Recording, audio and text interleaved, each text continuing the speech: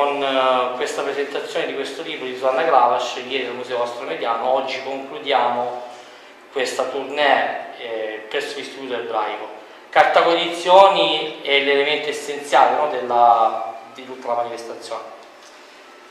Io ti ringrazio, la manifestazione è importante perché esiste l'autore. Io non potrei essere un editore senza un autore, quindi è una sinergia all'unisono che va a creare poi quel grande orto della letteratura.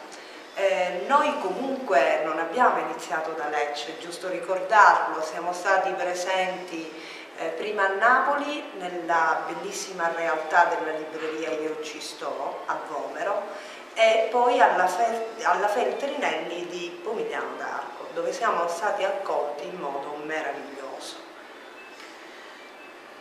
A Lecce ci voleva proprio una manifestazione del genere perché proprio in questi giorni si, si è festeggiato proprio la giornata della poesia, quindi quale, qual è il miglior contesto nel, nel programmare versi? anche perché sappiamo benissimo ciò che sta succedendo, bisogna iniziare, come diceva lei nel suo intervento ieri, la cosiddetta trama della vita, perché siamo, stiamo, la, tra, la, vita, la trama è fatta di figli e quindi stiamo in un, in un contesto no? piuttosto, piuttosto bellico direi, quindi qual è la miglior situazione per costruire pace?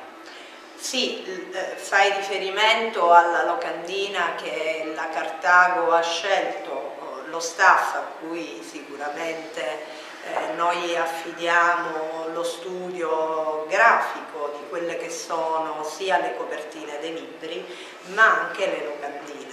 E abbiamo scelto proprio fili di inchiostro, c'è una piuma, credo che tu abbia la locandina, magari poi la potrai mostrare, che rappresenta proprio questo intreccio, questa sinergia. Il destino simbolicamente viene rappresentato proprio con la trama. Ricordiamo anche uno dei miti più conosciuti, Penelope, cos'è che faceva? Tesseva e poi scuciva, eh, ma quello è simbolico sicuramente come gesto, ma è l'unione della forza. Sì, credo che la buona lettura faccia in modo che l'essere umano pensi più alla propria parte interiore che non a fare la guerra. Adesso parliamo con Giuseppe Pennisi che è colui che comunque no, fa parte anche lui integrante della carta condizioni, lui si occupa di distribuzione soprattutto distribuzione del messaggio. Sì, buonasera a tutti e grazie. Io mi occupo dell'aspetto tecnico, diciamo così anche in modo riduttivo non è così questo è un testo, come ha detto la responsabile, che accompagna la vita di un autore. La poesia può essere il mezzo migliore che quella trama, quel filo rosso finalmente giunga tra gli altri. Cartago di questo manifesto ha fatto la realtà. Ecco che siamo distribuiti a livello nazionale e su molte librerie, eh, tra le più importanti librerie italiane, con i testi e noi siamo presenti alla presentazione. Questo trinomio la distribuzione, librerie ed editore fattivamente presente rende il messaggio fattivo, vero e reale. Noi siamo stati a Napoli, siamo stati a Pomigliano, oggi siamo a Lecce. Lecce ha, ho avuto modo di vedere che contiene molti tesori. Noi reputiamo i nostri libri dei tesori e quindi sicuramente questi puntini luminosi riusciranno a creare un panorama diverso. Questo sta cercando di fare Cartago in Italia, nel mondo, nel mondo eh, e continueremo a farlo. Grazie uh, per l'intervista. Susanna Glavas a Lecce per la sua presentazione di questo libro Come stormi formi di giorni di ritorni. Eh, un titolo a cui no? già dal titolo si può fare un, un testamento direi, perché penso che è lezione di vita eh sì, sono gli ultimi, buonasera, sono gli ultimi due versi eh, della, di una poesia che io ho voluto mettere all'inizio proprio della raccolta. Sì. Cosa ne pensa di Lecce e soprattutto questo rapporto che dura da vent'anni con Lidia?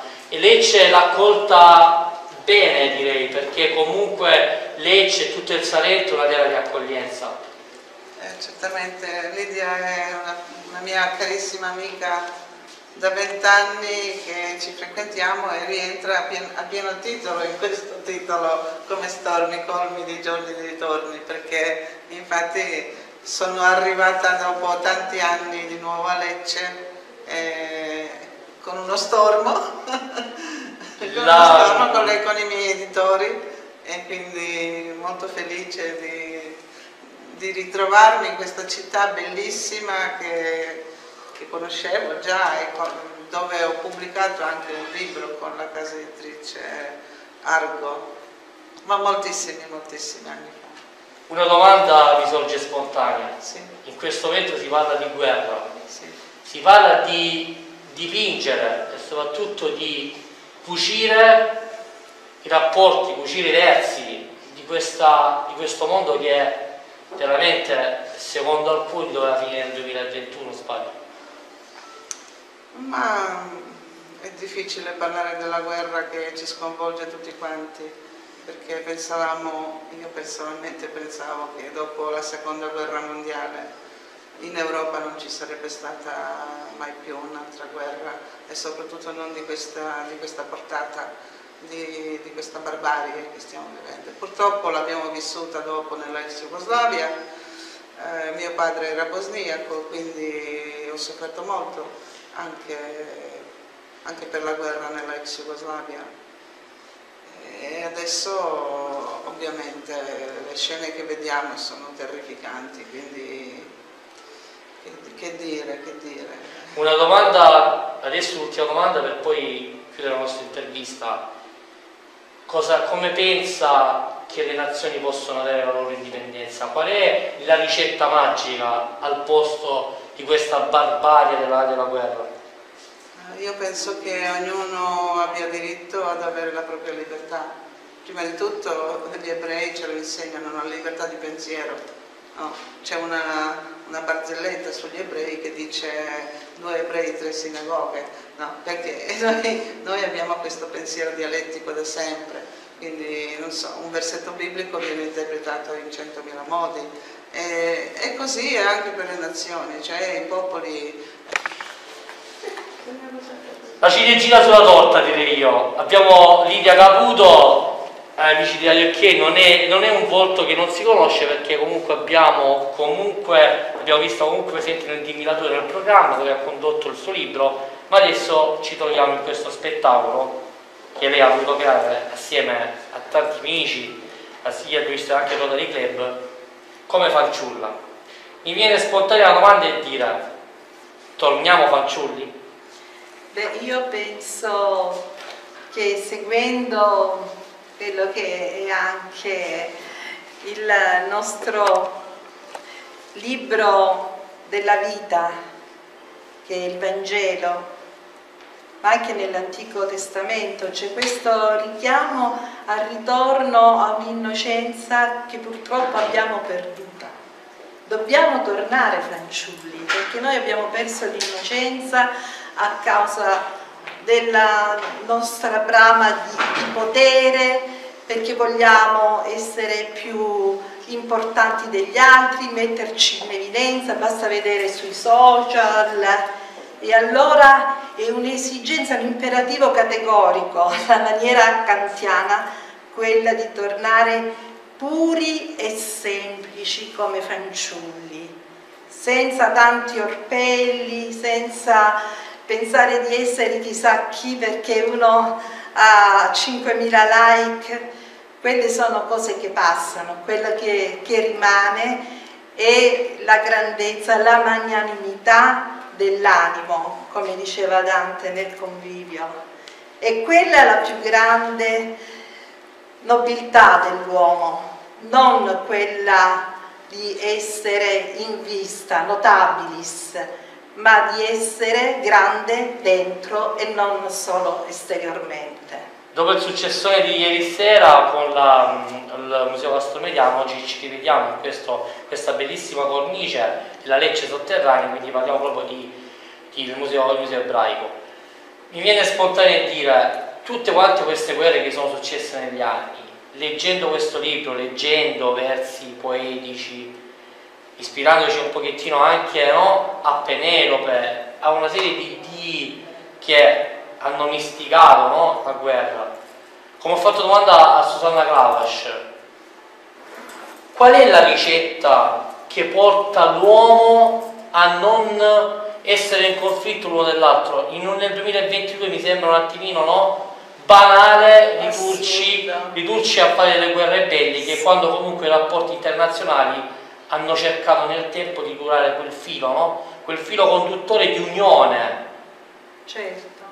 E secondo me eh, la cosa fondamentale è riconoscere che apparteniamo tutti a un unico genere umano e non siamo eh, diciamo, in conflitto perché io la penso diversamente da te, ma dobbiamo riuscire a e mettere diciamo, in armonia le nostre opinioni differenti e dialogare con gli altri pacificamente. Non ha, non ha senso spegnere la vita di un'altra persona perché non la pensa come te, perché appunto non vuole essere sottomessa a te. Ormai questo, questo senso di... Eh, che è rinato dell'imperialismo è una cosa superata, cioè non, non possiamo più concepire che in, nel terzo millennio ci siano imperialismi che possano sopraffare tutti gli altri paesi del mondo,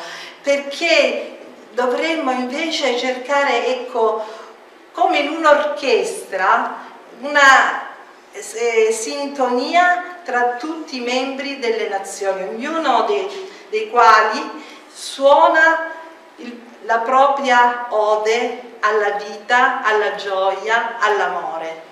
Ieri la professoressa Giannini ha fatto un bellissimo intervento, sembrava quasi una lezione universitaria, su ciò che il libro è stato pensato e creato e soprattutto ha tracciato tutti i fili, no?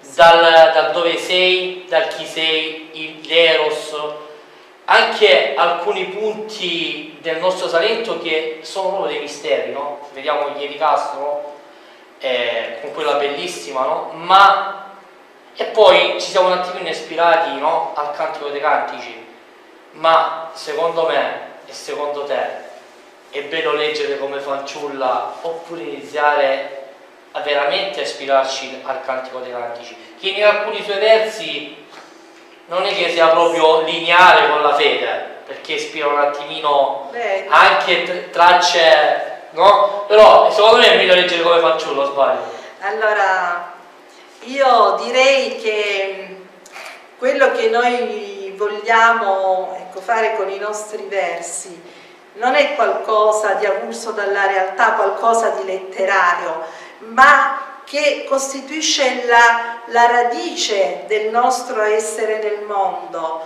cioè cercare quello che, che, è il senso della vita attraverso la poesia. È inutile che noi agiamo come fanciulli, saremmo degli stupidi, ma dobbiamo sapere il perché dobbiamo ritornare a essere fanciulli e quindi liberarci da, da tutte queste idiosincrasie, dall'odio dell'altro, l'altro è cattivo, l'altro è brutto, come fanno, fanno bambini che non capiscono nulla. Noi invece dobbiamo essere bambini saggi e c'è il professore Figlieri no, che mi insegna che presso i latini c'era il puer sapiens, quello che conosce la profondità della realtà più di un adulto è quello che dobbiamo fare.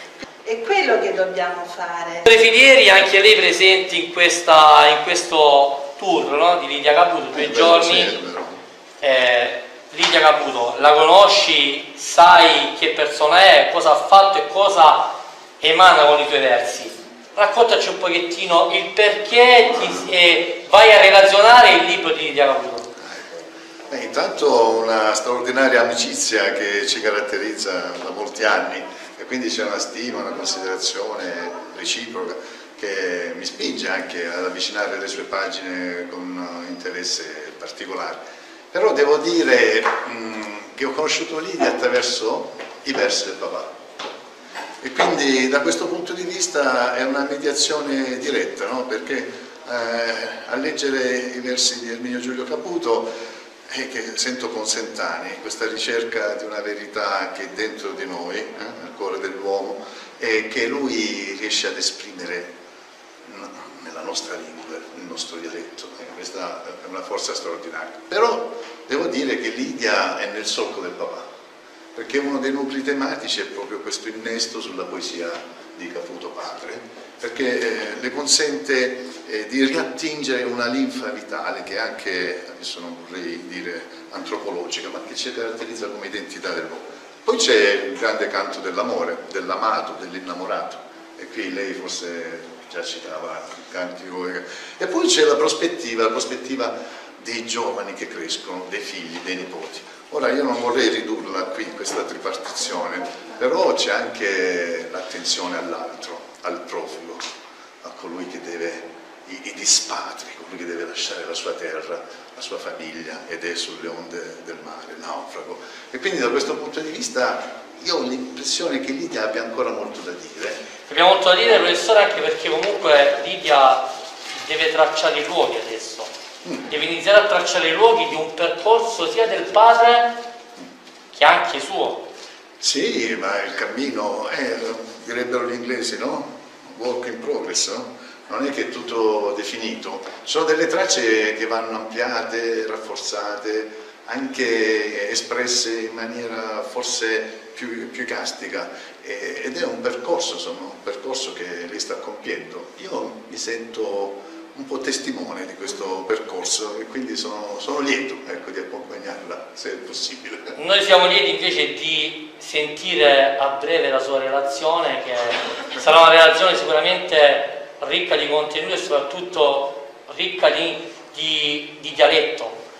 Sì, lo spero, io sono innamorato del dialetto, l'ho proposto come tesi di laurea a Bari in altre sedi, quindi il dialetto è la prima lingua nostra, la lingua di chi succhia la mammella, quindi da questo punto di vista noi siamo, no? eh, parliamo più lingue, quindi da, questo, da questa prospettiva la prima lingua è il dialetto. Questo non significa amare solo il campanile, ma significa riconoscere se stessi in mezzo agli altri. Grazie professore. Prego. Prego.